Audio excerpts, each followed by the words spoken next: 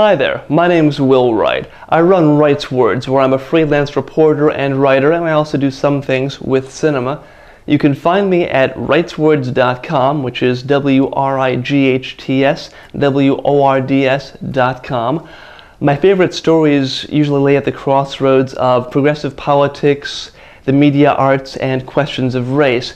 But those aren't the kinds of stories that I'm thinking about right now. Every year, uh, film organizations from the American Film Institute to the British Film Institute and in between, they, they, they issue their, their list of the top 10 movies of the year. And right now, at the New Year, is an interesting moment in time to consider, you know, the, the best films.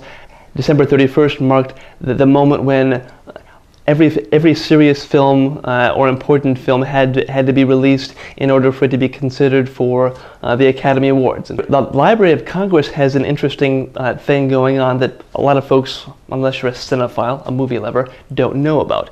They, they have the National Film Registry, and recently the National Film Registry announced its 25 entries into, well, the film registry.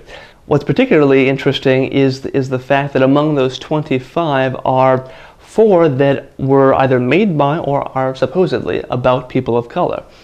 One of them is, is called uh, Symbiosis. It's that hard to say.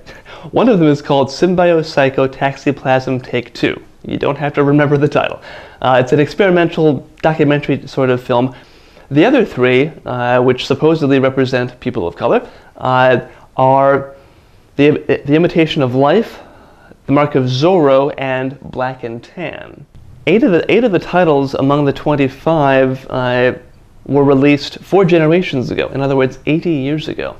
And in order for a film to, to, to, to, qualify just basically for the list, it has to be at least 10 years old. How is it that 79 or 80 year old films were just now added to the National Film Registry?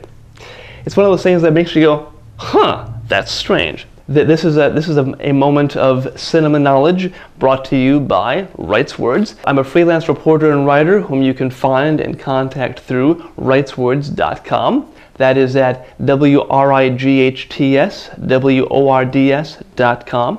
If you dug what you saw, like this, like me, and share it amongst your friends.